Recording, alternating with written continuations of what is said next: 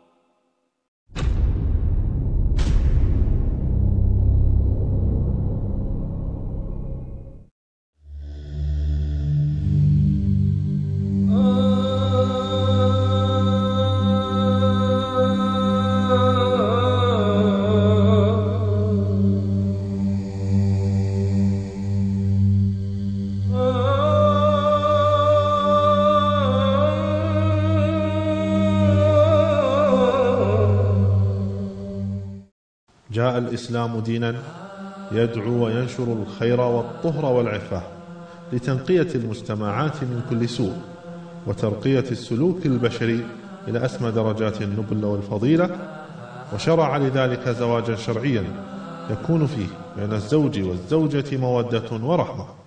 ومن آياته أن خلق لكم من أنفسكم أزواجا لتسكنوا إليها وجعل بينكم مودة ورحمة.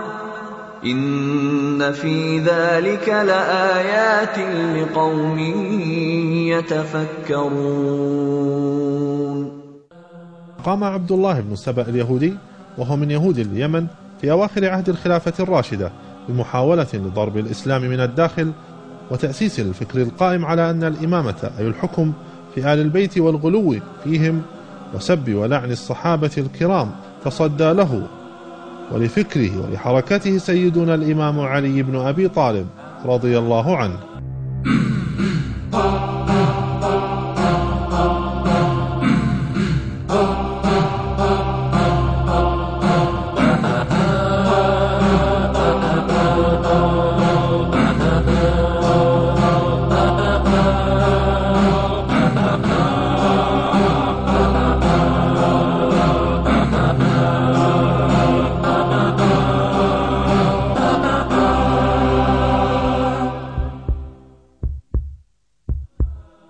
بعد ذلك.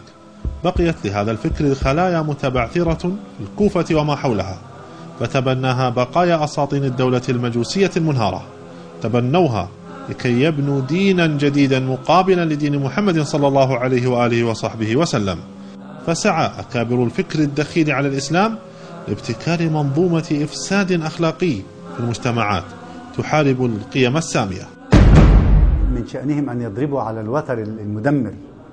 والرسول صلى والرسول صلى الله عليه وسلم يقول إنما بعثت لأتمم مكارم الأخلاق. وإنما في البلاغة العربية أسلوب حصر تخصص الدقيق. يعني بيدرس الطالب في كلية الطب معظم الفروع ويجي يتخصص في زاوية من الزوايا يتقنها ويوجدها. هنا إنما بعثت يعني الحكمة العالية أعلى درة في سر بعثة النبي واختياره واختياره واصطفائه إنما بعثت لأتمم إيه؟ مكارم الأخلاق. فكل ما يهدم أو يدمر أو يصدع يص يص أو أو يخرب هذا هذا الحصن فهو ففي دماره الإسلام في دمار الإسلام في في دمار الإسلام في الأخلاق. إذا دمرت الأخلاق دمر الإسلام وانتهت الرسالة. إنما بعثت لأتمم مكارم الأخلاق. وها هم على مر تاريخهم يطورون من هذه المنظومة لتتوافق مع الهدف الذي من أجله ابتكروها. فالمتعة عند الفكر الدخيل هي كالتالي إيجاب وقبول ومهر بتوقيت معين لا شهود ولا ولي. فإن كان لا شهود ولا ولي فكيف يثبت الزنا إذن؟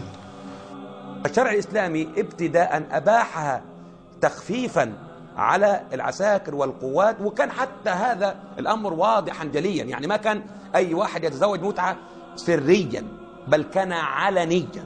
يعني كأن الذين يحضرون من العسكر أو الجنود أو القوات قاموا مقام ولي الأمر. ومع هذا الإسلام بعد أن أباح ابتداء حرمه. وعلى هذا أجمع علماء المسلمين وأجمع أهل السنة على هذا. وأن زواج المتعة زنا وأنه لا يجوز بحال من الأحوال. الحالة القديمة التي كانت أبيحت لظرف ضروري ثم بعد هذا تم الأمر وانتهى الأمر وحرم هذا الزواج إلى يوم الدين. فليس لأحد أن يقول إنه جائز. أسس علماء مختبر الفكر الدخيل فضائل وأجور منقطعة النظير. صنعوا الفضل العظيم والأجر الكبير لزواج المتعة. نعم زواج المتعة. عندنا مستحب الاتيان بالمتعة ولو في العمر مرة واحدة لأن هذه سنة من سنن النبي. الإمام الباقر سلام الله عليه قال الرواية وبإسناده هذا السند وبإسناده عن صالح بن عقبة عن أبي عن أبي جعفر يعني الإمام الباقر سلام الله عليه قال قلت للمتمتع ثواب اللي يتمتع إليه ثواب. قال إن كان هذا نص الإمام الباقر سلام الله عليه. قال إن كان يريد بذلك وجه الله تعالى وخلافا على من أنكرها شوف شوف الثواب. إن كان يريد بذلك وجه الله تعالى وخلافا على من أنكرها لم يكلمها كلمة إلا كتب الله له بها حسنة كل كلمة يتكلم وياها إليه حسن. ولم يمد يده إليها إلا كتب الله له حسنة فإذا دنا منها يعني إذا جامعها فإذا دنا منها غفر الله له بذلك ذنبا. فإذا اغتسل شوفوا هذا الثواب العظيم. فإذا اغتسل غفر الله له بقدر ما مر من الماء على شعره. هذا الراوي استغرب قال قلت بعدد الشعر؟ قال بعدد الشعر. يعني هذا الماء يشقد على كل شعرة في بدن الإنسان لما يجي كم شعرة في بدن الإنسان؟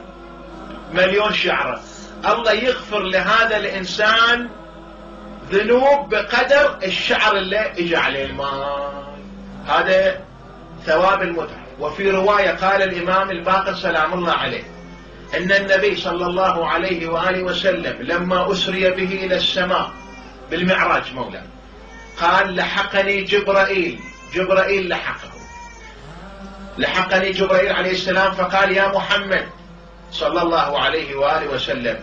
الله يقول إن الله تبارك وتعالى يقول إني قد غفرت للمتمتعين من أمتك من النساء الله يغفر للمتمتعين من أمتك من النساء وده من مغريات نشر الفكر الشيعي والعقائد الشيعية.